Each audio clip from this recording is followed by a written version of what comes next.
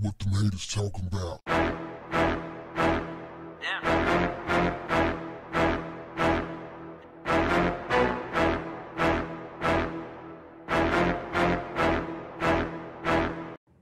What's up, family?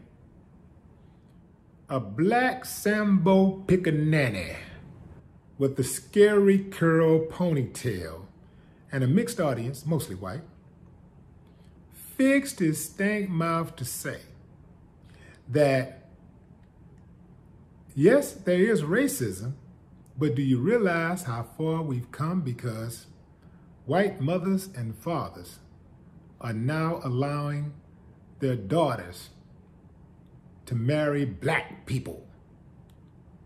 Oh, God. Where they get them from?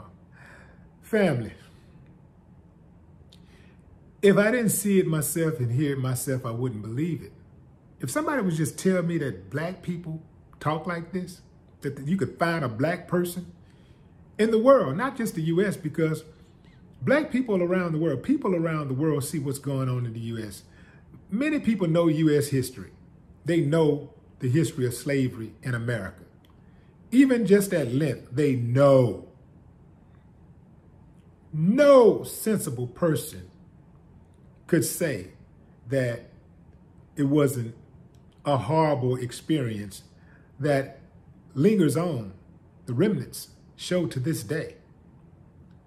The aftershocks of slavery is felt to this day. No reasonable person, no person in their right mind, no part-time reasonable person could look at what's going on in America in terms of race relations and say that it's all good or even it's mostly good. It's bad. That's the truth. This dude, he was attacking protesters and attack, attacking blacks, period. And he went after the youth. He was like, they're 19 years old. They don't know what they want. They don't know what they're doing. They ain't lived. I'm 52 years old. Nobody's oppressing me. Yes, that's is there racism? Yes, there's racism. But we got it a whole lot better than we used to have it.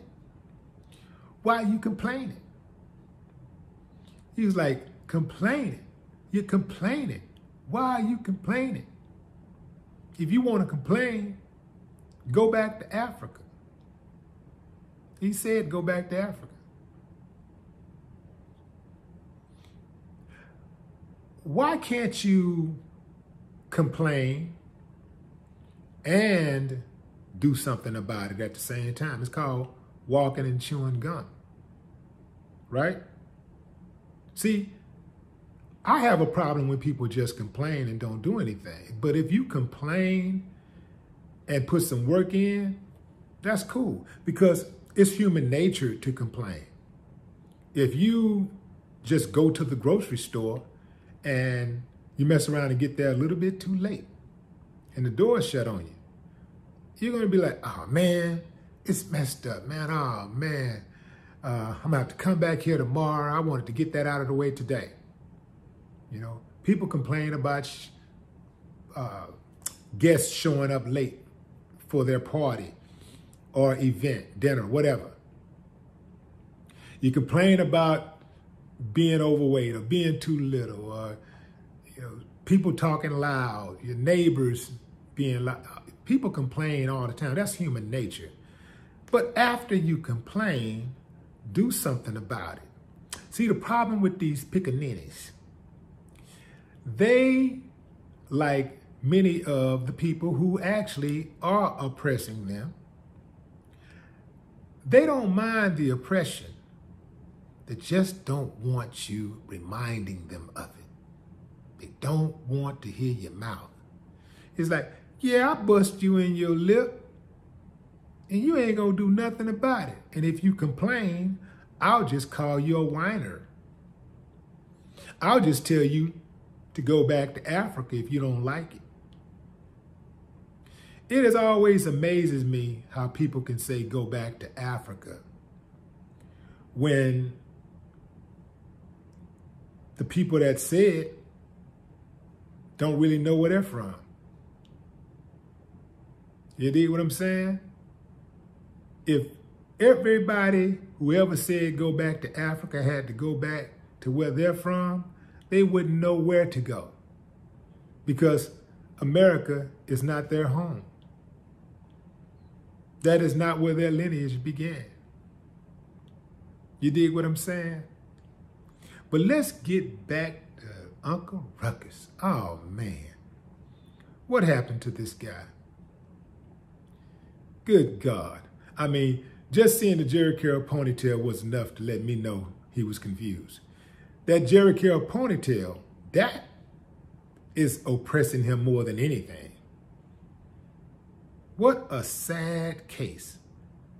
Can you imagine what his mama and his daddy must think of him?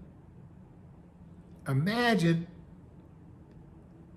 what his kid. Ain't no way that can be your daddy. And you be proud of that dude.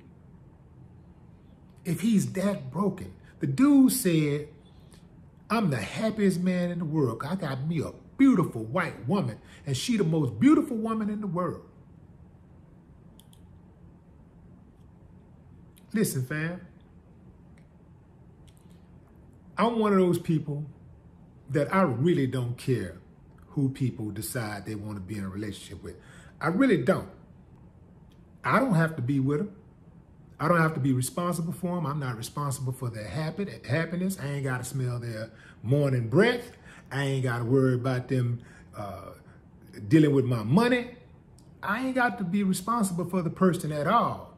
So if a person can find happiness with a particular person that may not be in their particular group or whatever, hey, that's fine. But don't try to put your own people down. Don't do that. That's a bad look. When you do that, then that really tells me all I need to know about you. That lets me know really who you are and the real reason why you're dating outside your race is because you think you're not good enough. It's an inferiority complex. That's what it is. And dating outside of your race is not going to help you escape your race. It's not going to help you escape your ethnicity for those who don't like people saying uh, race and breaking up race like it's only one race and that's the human race. Dating outside of your ethnicity is not going to help you escape your ethnicity. You still are going to be exactly who you are, and people are going to see you for exactly who you are. It doesn't matter how much money you get, doesn't matter where you move to, doesn't matter where you live. You're still gonna be who you are. And ain't no amount of mixing it is going to change that. I don't know your name, but whoever you are, pickaninny jigaboo. Your mama should be embarrassed and your daddy should have pulled out. No more talk. What the talking about?